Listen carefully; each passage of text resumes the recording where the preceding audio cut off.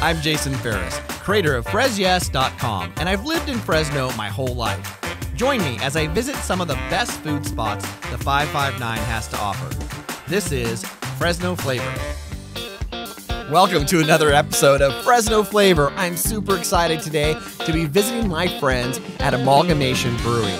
If you haven't been here yet, you can find them just south of Herndon on the west side of Milburn. Let's go have a beer. Hey, Sarah. Hi, Jason. Welcome to Amalgamation. I'm so excited. Yeah, thanks for coming in. Yeah, so give me the tour, can you? Yeah, absolutely.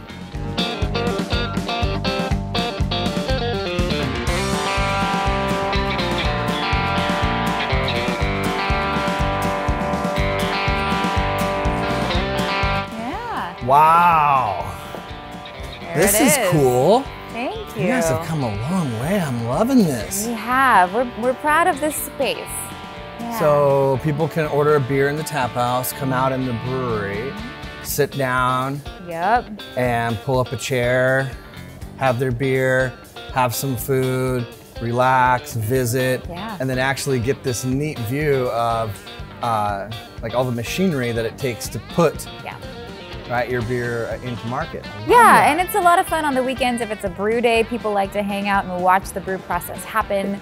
probably the I think this is the part I'm most excited about. Yeah, me too. Like this is like when you walk in a winery and they let you take a you know a pour right from the barrel. Like this is how I feel right now. So let's say I wanted to make um, a cherry beer, like something that tastes like cherries. Do they actually put cherries in, or is it more like the yeast just happened to come out with that flavor? All of it. It depends. A lot of the more fruit flavored forward beers have that actual fruit in it. Um, but some of the more like citrusy or piney flavors come from um, hops or the yeast give the beer specific flavors more like warm spices. So yes to all of it. Yes, to all of it. I love it. So you ready? I am. So what's in here? So yeah, Kevin's got our Michelada beer coming out, which will be pretty fun. How do you feel about micheladas? The little lime is floating to the top there, but I there love you are, it. sir. This is a big deal. So on camera, isn't this beautiful? right?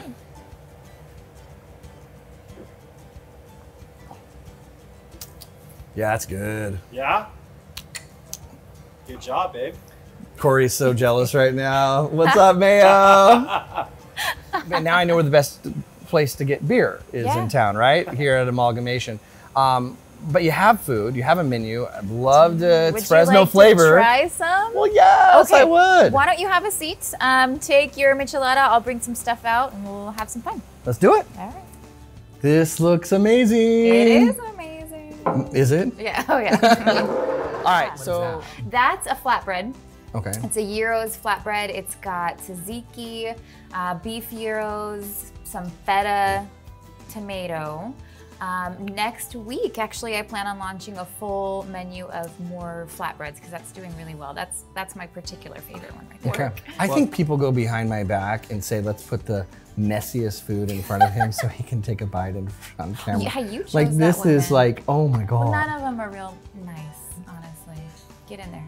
Don't apologize. well, you're gonna have some too. We're supposed to be enjoying together. So, hey, get her on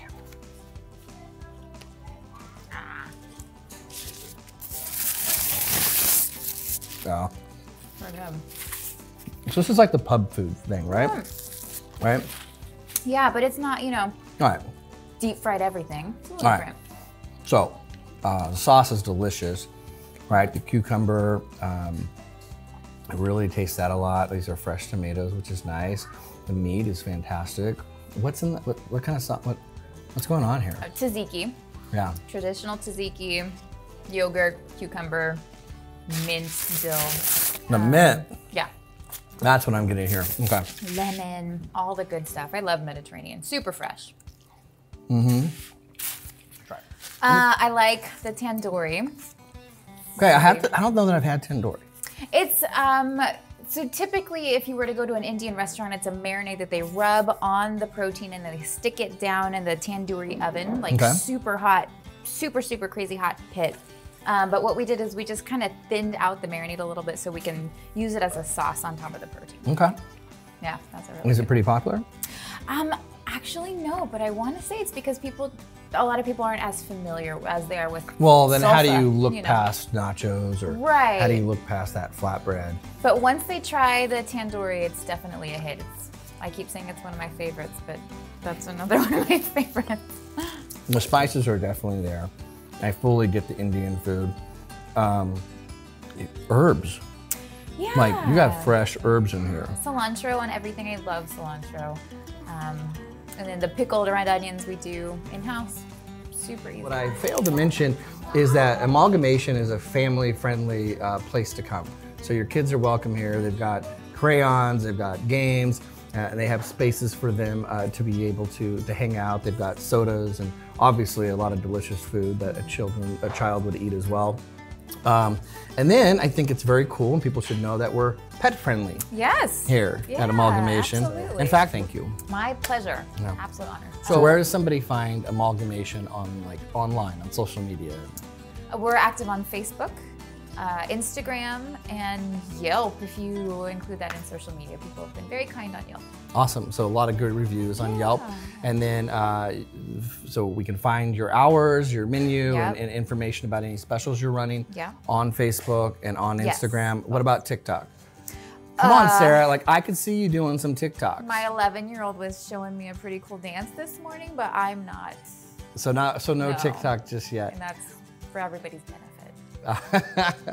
Thank you everybody for joining us in another episode of Fresno Flavor. For more stories of the people, the places, the lifestyle, and the amazing food that comes out of our valley, please tune in to fresyes.com.